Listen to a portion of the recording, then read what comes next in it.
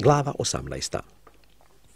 A poslije toga pobi David Filisteje i pokori ih i uze Get i sela njegova iz ruku filistejskih. Pobi i Moabce i postaše Moabci sluge Davidove i plaćahu mu danak razbi David i Adar Ezera, cara Sopskoga, u Ematu i zašav da raširi vlast svoju do rijeke Eufrata.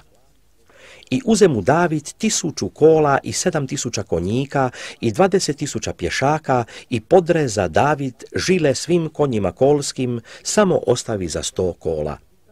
A bijahu došli sirci iz Damaska u pomoć Adar Ezeru, caru Sopskomu, i David pobi dvadeset dvije tisuće siraca i namjesti David vojsku u Siriji, što je pod Damaskom, i Sirci postaše sluge Davidove plaćajući mu danak.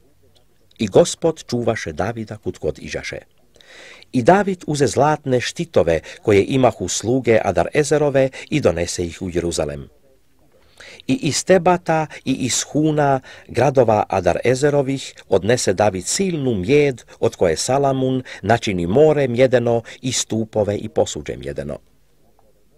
A kad ču Tov, car Ematski, da je David pobio svu vojsku Adar Ezera, cara Sopskoga, posla Adorama, sina svojega caru Davidu, da ga pozdravi i da mu čestita što je vojevao na Adar Ezera i ubio ga. Jer Tov imaše rat s Adar Ezerom i svakojakih zaklada zlatnih i srebrnih i mjedenih. Pa i to car David posveti gospodu sa srebrom i zlatom što bješe uzeo od svih naroda, od Idumejaca i od Moabaca i od sinova Amonovih i od Filisteja i od Amaleka. I Abisaj, sin Sarujin, pobi osamnaest tisuća Idumejaca u slanoj dolini. I namjesti vojsku po Idumeji i svi Idumejci postaše sluge Davidove. I gospod čuvaše Davida kuda god iđaše. Tako carova David nad svim Izraelom sudeći i dajući pravdu svemu narodu svojemu. I Joab, sin Sarujin, bješe nad vojskom, a Jozafat, sin Ahiludov, pametar, a Sadok, sin Ahitobov, i Ahimeleh, sin Abijatarov, svećenici, a Suza, pisar.